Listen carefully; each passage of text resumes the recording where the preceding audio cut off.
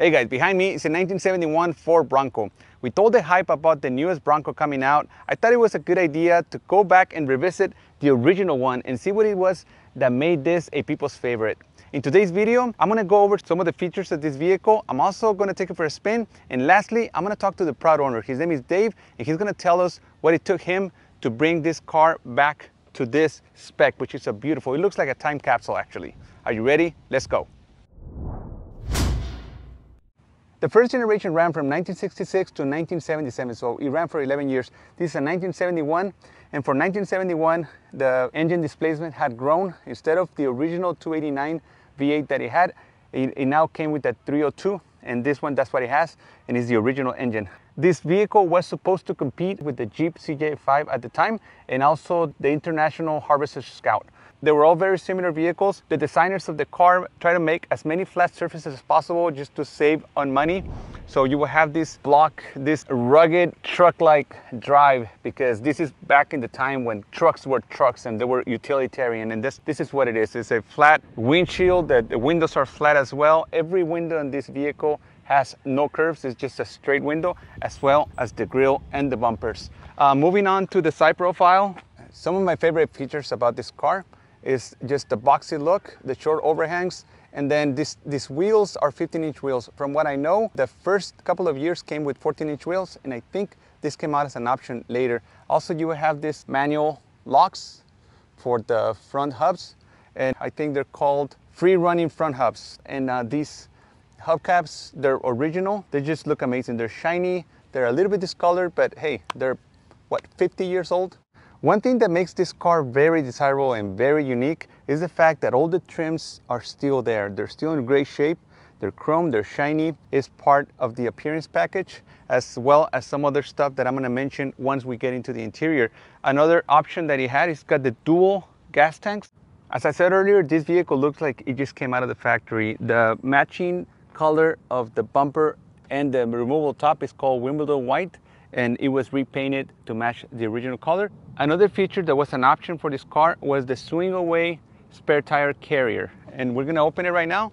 You just lift this lever right here. And then we're gonna take this opportunity to show you how the top opens, this window. Everything is in working condition, amazing.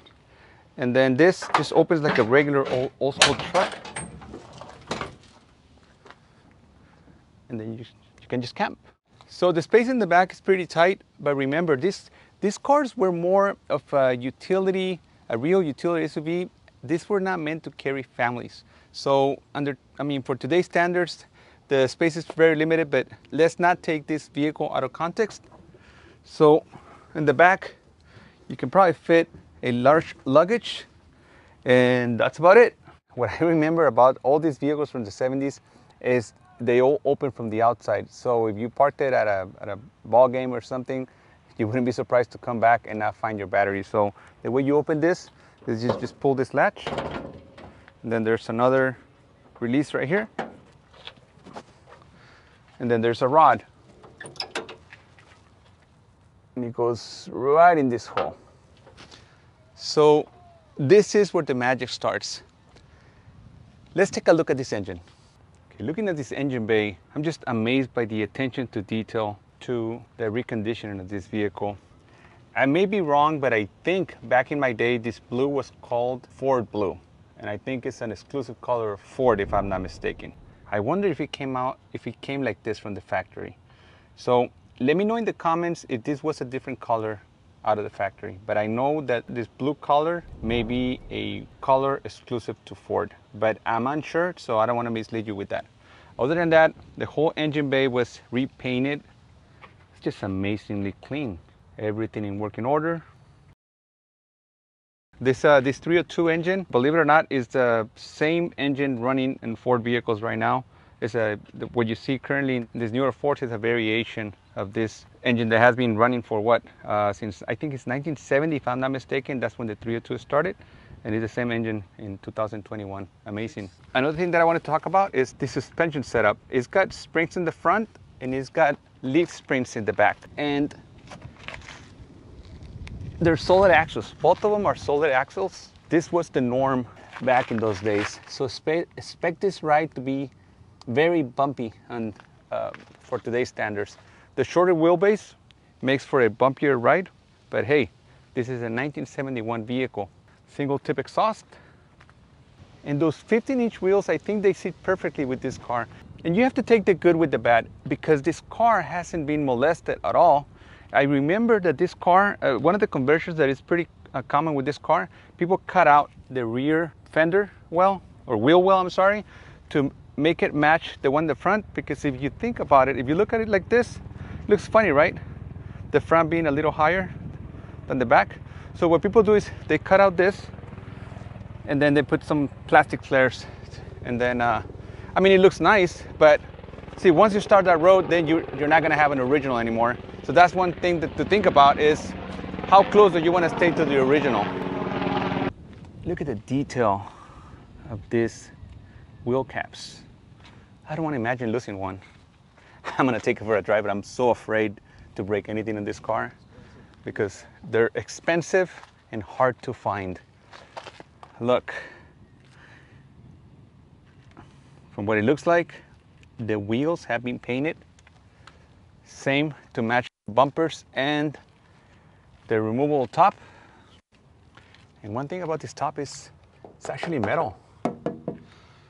And I'm gonna try to mention, I'm gonna try to pronounce the color of the top and the bumpers. It's called Wimbledon White. Yes, How good did I do? that's good. Look at these gaskets.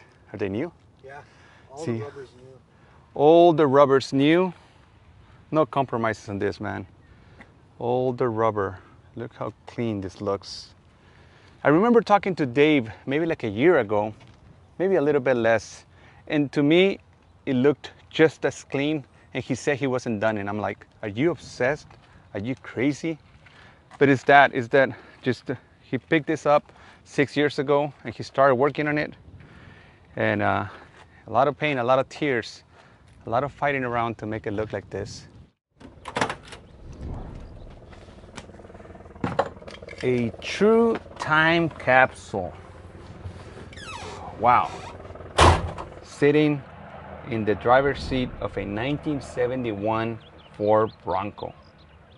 This sitting position reminds me of all the utility trucks, the SUVs, utility trucks that we used to drive back in the 80s when I was a kid driving around my dad's trucks. So you have a super tall sitting position, a commanding position to drive the car. So you feel like the king of the road in this car. It's, just amazing. So it's got a lot of switches here, and I'm sorry if I'm not that familiar with them. Here's the lights. I'm sure that you pull all this because that's how my dad's truck used to work. The wiper washer, everything seems to work. And then you have a heater, from what I understand, and no AC in this car. One of the things that this car doesn't have, it doesn't have a power steering pump.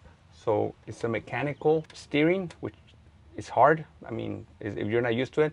So what helps that is this larger diameter wheels that make that turning a little bit easier, but it is what it is. These are old cars. It also doesn't have power brakes. So it just has the mechanical brakes and it has drums in the front. So it takes a while for somebody that's never driven a vehicle this old to get adjusted to the uh, to the longer braking distances, the harder steering wheel to turn. It's just what it is. And to be honest with you, I haven't driven a three-speed column-mounted transmission in what 20, 30 years. I haven't driven one. So to the untrained eye, well, it's got, I got flies in here. To the untrained eye, this looks like an automatic transmission setup, but no, it's, it's actually a um, it's called a column-mounted transmission. It's a three-speed. So we're gonna wait for Dave to show us that because I don't wanna, I don't play too much with it. So here's my clutch. Also, is the longer throw of the clutch, and same thing, very mechanical, very analog. And then you have the four-wheel selector in the bottom. A very common conversion for these trucks or for these SUVs is to bring the gear selector to the floor because this, these are sloppy. It's just, it's, it's what came with the vehicle. So it's a lot more convenient to have it down here. And same thing, if you notice uh, this lever is very long for today's standards. Usually you will have like knobs or even if you have something like this, it's a very short lever that is usually on the side. This is big. That's because these cars were meant for work. Remember, not pretty, just meant for work. But there's a lot of charm in this this finishes of this vehicle, you know, with this uh, metal Wimbledon white. Same thing to match the color of the removable top and the bumpers and all these accents. These panels on the doors, same thing, they're to match the color. And from what I hear from the owner, Dave, he said that he made sure that when he refurbished these seats, he tried to get as close as possible to the ones that he came with, to these colors, kind of like a bone, like an off-white color. And this just looks amazing. So moving on here to the to the visors, same thing, white color matching. And this hump right here, it just covers the windshield uh, wiper motors. They're mounted on the top, so it's for a cleaner look. And then we have these roll-up windows. So cool. So something that reminds me of, my childhood again is playing with this wing window. It's called. So this locks right here. So you gotta push it in, make sure that it's sealed, and then bring it down. And it looks original. So cool.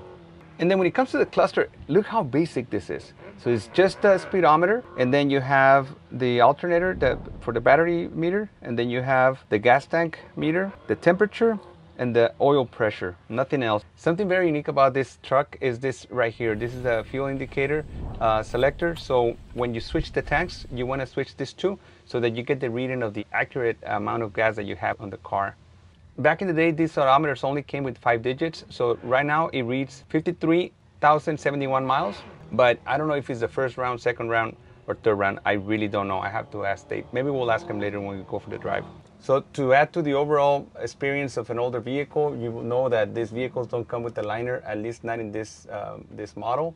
It came like this from the factory. So once you get on the road, it may get a little loud. So things to keep in mind, this is a 1971 vehicle, so take the pros with the cons. If you plan to drive this daily, remember it doesn't have a power steering pump, it doesn't have ABS, doesn't have power brakes, um, it doesn't have a liner uh, for, the, for the roof, and it doesn't have, for example, um, any sound deadening uh, materials. But what it does have is it has this very cool, it's like a rubber liner with the Bronco emblem. It makes it look so cool. So now let's look a little bit at the interior. To go to the back, you have this release lever right here. You bring it down and this is not user friendly. You have to be an athlete to get in the back. very, very intricate. So there's this little back seat right here. Very, very cool. So this back seat is very comfortable. I'm surprisingly comfortable here. Uh, a lot, lots of um, leg room, and you have this high sitting position, and the windows are, are, pretty open, so you have tons of visibility towards the outdoors. And then you have this this nice roll bar, and every bolt looks new in this interior. Amazing. Uh, just have I said amazing today? And then look at this seat, can carry two comfortable. Go like super slow here because I don't want to touch it. The, camera back. Can you just run me through the gears? Uh, which one is first, second, third? So first is uh, towards you and down, and then to go into second, you push it up and away from you slightly, like that. That's second. And then third, straight down from second. Oh wow, that a looks, little early, but that looks scary. yeah, it takes some getting used to. I, I still sometimes don't Wow. get the going in a second. It's it's a little trickier. Lots of nostalgia going on right here. Three in the tree. There you go. Oh, Uh, the big e-brakes right there. Yeah. Okay, so first gear. Feels like my first time driving a car. I'm actually. Why, why am I? Why am I giving it so much gas? I'm so sorry. Okay, second is up. Give it a little slack first. Second. There you go. Yeah. Okay, I don't think we're gonna make it the third. I'm, I'm, I'm comfortable doing 20 miles an hour. We want to baby this thing. I don't want to break it on me. because I don't want to buy it. Is it a full tank? Is it reading correctly? Yeah. Okay. Wow. Very commanding view of the road. I really like it. High visibility. I love it, man. I really love it. And I kind of miss driving these things, you know. Makes me want to go back and get one of those vehicles that I had along the way. Maybe like my 1985 uh, Jeep, the CJ7. It was very similar, a little bit more modern, but it was basically the same utilitarian, boxy, horrible gas mileage, but just so full of charm. The engine sounds so good. It just looks and feels so capable, just like you drove it off the lot back in 1971. Thank you for letting me drive this, David. Yeah, no problem. Yes, you know, we're not gonna off-road this baby, and there you go. The issue with the brakes is weird. It feels like uh, the the brakes feel numb. It's Yeah, just the not the nature of this mechanical. modern cars, And see, as long as the car is moving, this is like It, yeah, it turns fine. turns fine. And the thing It's is, once you stop. it's the large diameter that allows you to to have that smoother, Mhm. easier turn. Um, how do you do reverse? You towards you and then straight up. There you go. That should be. But it doesn't feel like like, a, like it's in gear. It doesn't. Did you? Oh yeah, you didn't push it all the way up. There, there's reverse. Okay. Yeah. Sorry, guys. It just gets taken. You know, some getting used to. You know, Uh, the feel for it. So. So much gas. What? Sorry, sorry, sorry, sorry, sorry. okay. It was just a very short drive. Okay, and the down and and towards me. Yeah, you got to pull it towards you more. There you go. I feel like I worked out just turning this steering wheel. True time capsule. Congratulations, David. You have a beautiful, beautiful Ford Bronco 1971. Yeah. Thank you. Oh. Uh, I'm just gonna put it here on my head. The butthole. So, just uh, yeah, just put it in a neutral and then um, like uh, no, in the middle. There is neutral. and then um, and kill then the just engine. clear the engine and put on the e-brake.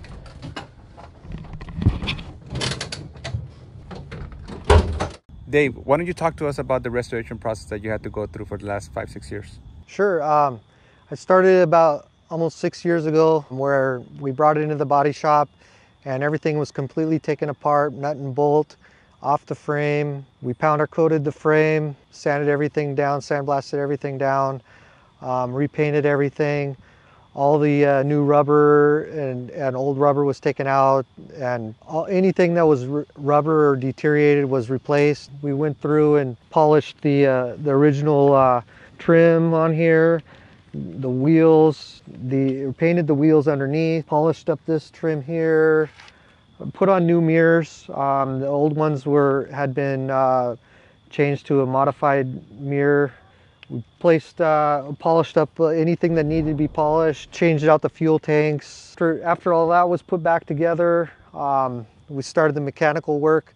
The body, the body uh, and then the paint, that took about two years, a little over two years.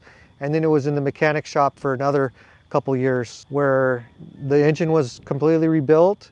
The transmission was rebuilt. We went through the, uh, put in a new uh, clutch, try to make it as close as we can to to uh, original, the way it would come out on the showroom floor when it was new. Oh yeah, we replaced the uh, the seats, uh, the seat covers, and the the foam inserts. I used original looking uh, seats, everything, so that it would look like it did originally. Nothing in here is modified. This is this is the way it would have been from from right out, out of the showroom. We put new tires on it. Trying to think, there's been so much I can't think of it all. Uh, nothing. We didn't. We, I put new springs on it, but uh, it's the original leaf springs. Didn't do anything other than shocks, things like that that can um, wear out. We put in a new water pump, new carburetor. Uh, I can't remember everything, but it, it's everything that needed new needed to be replaced was replaced. The engine is the original, the original engine. Um, it's been rolled over once, uh, just over 153,000 miles now. Just got it out of the shop recently, so It has less than 100 miles on the new engine. It's still being broken in. It's got to be taken care of while it's been broken in with frequent oil changes, and uh, you can't use synthetic oil on it. It's brand new engine, or well, not brand new engine, but uh, totally rebuilt engine. We put in uh, Was it running when you bought it? Was it, the engine was it running? yeah, the it was running when I bought it. It was it had been rebuilt once before. I don't know the exact mileage on it when it was rebuilt before, but they had bored it out, and so when we rebuilt it this time, um, we put sleeves in it, so it's back to the original bore of a 302. Um, so it, it's um, even even mechanically, it's it's going to be running like it it did originally. Please let me know in the comments if it's more content like this that you would like to see on my channel. I have tons of friends that want me to review their cars like I know anything about it. Thank you for watching, and I'll see you next time. Thank you, Dave. Thank you. See you.